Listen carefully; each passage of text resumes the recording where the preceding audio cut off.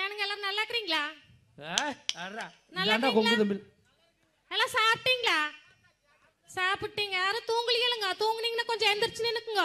கொங்கு தமிழ் பேசினா தான் அந்த புள்ள அதனால தான் தூங்கிட்டாங்கன்னு என் பேர்ல பழி போட்டு விட்டுருவாருங்க. அப்புறம் போறப்ப என்கிட்ட காசு கொடுக்காம விட்டுருவாருங்க நடுவர். அதெல்லாம் கவலைப்படாதீங்க. அதனால நான் பேசல எல்லாரும் கை தட்டுவீங்களாங்கக்கா? எல்லாம் தட்டுவீங்களா? சரிங்க. என்ன? இது. நீ எங்க வேணாலும் நின்னுக்க. தான் இங்க கூட போய் நின்னுக்க.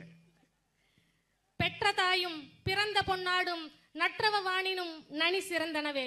என்னை பெற்றெடுத்த தாய் தந்தைக்கும் தாய் மொழிக்கும் தாய் திருநாட்டிற்கும் முதற்கோடி வணக்கத்தை முதற்கோடி வணக்கத்தை தெரிவித்துக் கொள்கின்றேன். ஆகா. பெற்ற தாய் தந்தைக்கு வணக்கம் சொன்ன ஒரே ஆள் நீங்க தானம்மா. நன்றிங்க ஐயா. இவெல்லாம் எங்க ஊர்ல எல்லாம் இப்படி தமிழுக்கு அம்பனமாக்கெல்லாம் வணக்கம் சொல்ல நல்லா கை தட்டுவாங்க. நீங்க எனக்கு இப்படி பராக் பார்த்துட்டு இருக்கிறீங்க. கைத்த தட்டி விடுங்களேன். அப்படி தட்டுங்க. கை தட்டினீங்கன்னா எந்த நோயும் வராதுன்னு டாக்டர் சொல்லிக்கிறாருங்க. ஆம்பளைகள்லாம் கை தட்டினீங்கன்னா.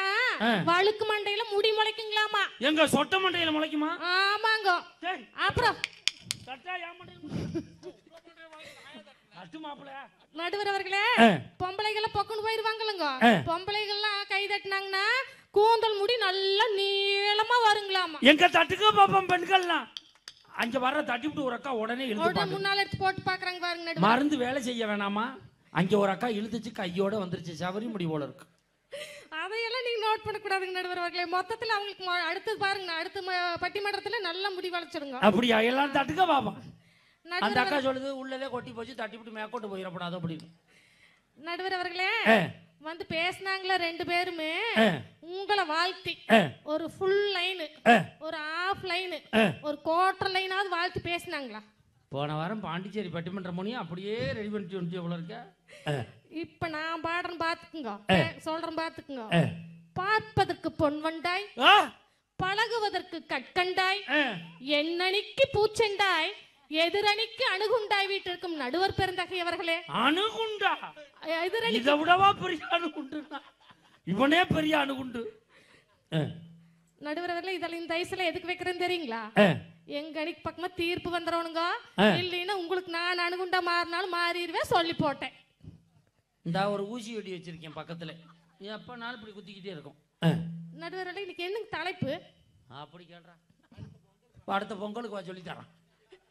குடும்பத்தின் மகிழ்ச்சியை தீர்மானிப்பது ஒரு மனிதனுக்கு திருமணத்துக்கு முன்பா திருமணத்துக்கு பின்பா? இதுதானுங்க. இந்த ஜுஜிபி கேள்வி. கேள்வியா? ஆ, இந்த கேள்விக்கு எதுக்கு வந்து இவங்க ரெண்டு பேரும் மூக்கால முக்கி நாக்கால் நக்கி போய் உட்காந்துக்கிறாங்க நான் கேக்குறேன். அப்படி கேளு சொல்றேன்? மூக்கால முக்கி நக்கால.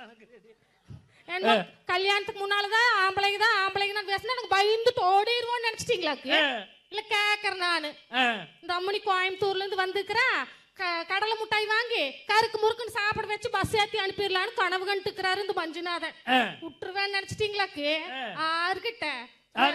ஆமா. சும்மா இல்ல கடலை முட்டாய் ஆண்டா நீ பேசுக்கா பாத்துக்கிறேன்? இவங்க அவ்வளவு சேட்டை பண்றான். கறி வாங்கி அவனா திங்கிறான். நடுவர் அவர்களே கோல மாவுல கோலம் போட முடியுங்க. கடலை மாவுல கடலை போட முடியுமா? ஆ. போட முடியுங்களா? ஏக்கா போட முடியுங்களா? முடியாதுங்களா? முடியாது. முடியாதுங்களா? சரிங்க. முக்காலியில் உட்காரலாம் நாக்காலியில் உட்காரலாம் தக்காளியில் உட்கார முடியுங்களா? நசிங்கிரு ஆ, அப்படி உட்கார முடியும்னு வேசிட்டு போய்க்கிறாங்க. நீங்க சிங்குச்சா சிங்குச்சான்னு போட்டுக்கிறீங்க உங்களுக்கு. ஏக்கா? ஏனுங்க? சிங்குச்சாங்கெல்லாம் போடாதீங்க. எது கரெக்டா அதுக்கு பாரு பேசுங்க. சரிங்களா? நடுவர் அவர்களே என்னோட அணி சார்பா பேசுறதுக்கு முன்னாடி எதிரணிக்காரருக்கு ஒரு வேண்டுகோள் விடுத்துக்கிறேங்க என்ன வேண்டுகோள்? இங்க பட்டிமன்றத்துக்கு தோத்துருவோனே தெரிஞ்சு வந்து உட்காந்து பேசிட்டு பட்டிமன்றத்துல நீங்க எங்க அணிக்கு பரா எங்க அணிக்கு சார்பா இது சொல்லி அவங்க தோத்த விட்டு. வெளியில போய் பாருங்க டிவி சேனல்கார் வந்திருக்கிறாங்க. இது எங்களுக்கு ஒரு வெற்றிகரமான தோல்வின்னு பேட்டி கொடுக்க கூடாதுங்க. அதையும் சொல்லி கொடுக்க மாட்டாங்க. அவங்க பேட்டியே எடுக்க மாட்டாங்க. பேட்டி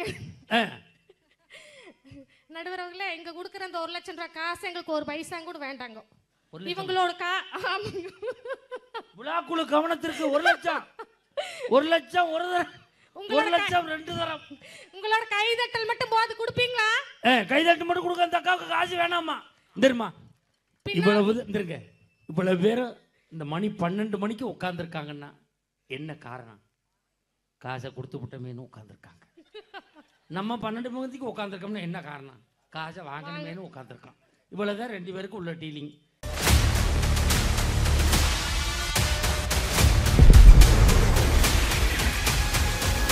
king Namakkal twenty four into seven மண்ணின் மனசாட்சி.